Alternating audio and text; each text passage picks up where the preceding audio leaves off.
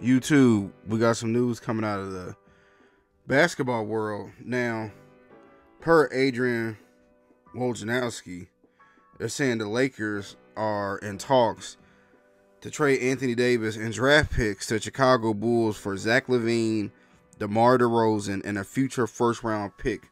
Sources tell ESPN. This is huge news. The Lakers have done a complete shakeup. They fired Darvin Ham after what, two seasons? Rumor has it, and most people believe that JJ Redick's gonna be the new head coach. And now that the Pelicans deferred their pick, Bronny may may be a first round draft pick by the Los Angeles Lakers.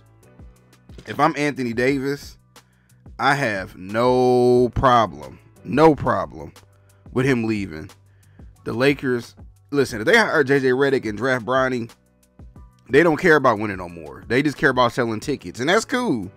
But if I'm Anthony Davis, I'm trying to get into the championship, and you can go back home like LeBron did. I'm coming home. I have no problem with that. He if if they draft Bronny and JJ Redick stays, I mean becomes the coach.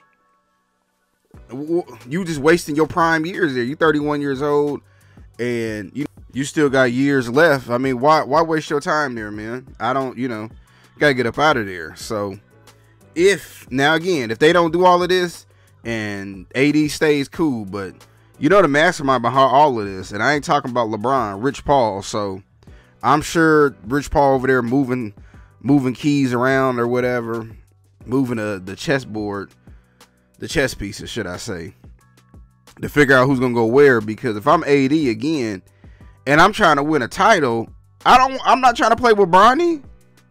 I'm not trying to start all the way back over from zero just to sell tickets and put fans in the seats. So, you know, going back home, going back to the Chi. Hopefully, hopefully Lonzo can play. Hopefully Lonzo can play. And even if he even if he can't, you know, the Bulls, we can get some picks now. And even with that whole roster, they need to blow that team up too. So I have no problem with all of this, and I hope that AD is the main one pushing for this. And it's too it's too expensive to live in California anyway, too, man. All them taxes and stuff. Come on home, man. You know, this you know, the the same stuff they got out there legal in Cali, we got legal in Illinois, if you get what I'm saying. So I just want to get my quick thoughts about it. I hope this is true, especially me coming from Bulls fan. I hope they trade him to Chicago. But tell me what y'all think.